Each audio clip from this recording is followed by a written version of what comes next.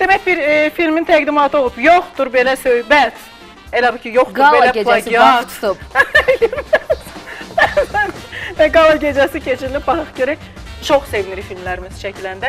Birinci komanda işidir, ikincisinə də qalanda uzun müddət yatmış qalmış bir sahənin canlanmasıdır. Baxaq görək hansı filmdir.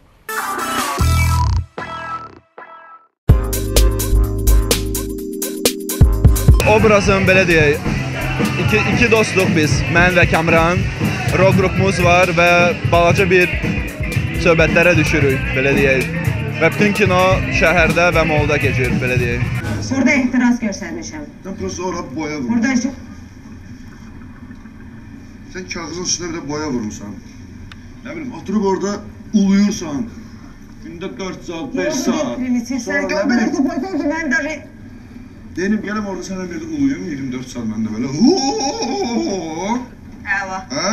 Heç sözüm sənə də qalmır. Mən də belə, belə şeylər çəkirmən, mən bundan çəkirmən də. Çəkə bilərsən, sən çək, okey? Sənə danışarım. Tamam, bundan gündə 100 dənəsini çəkərəm, nədir bu? Çək də.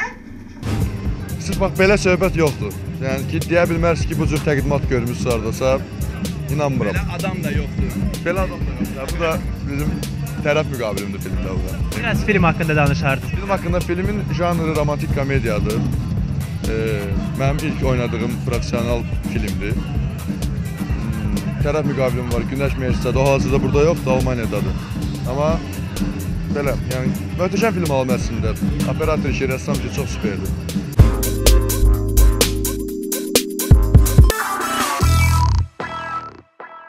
Baxdıq yoxdur belə söhbətə, hansı ki, e, Azərbaycanlı komediya filmləri hə, ard-arda çox çəkilir, amma bu məhz romantik komediya janrıdır. Bəli, romantik bəli. komediya janrına o qədər də sıx müraciət olunmur. 2-3 ildə bir film ya olar ya olmaz. İlahi Ssenari belə müəllifi də tanınmış adamdır. Bəli, filmin rejissoru Rüfət Həsənovdur, ssenari müəllifləri həm Kam Kamal Həsənov, Rüfət Həsənov və Asif Rüstəmov, bəstəkarı isə bizim Dihaş. Hansı ki, bizim. Avroviziya təmsilçimiz. Bəli, Diana.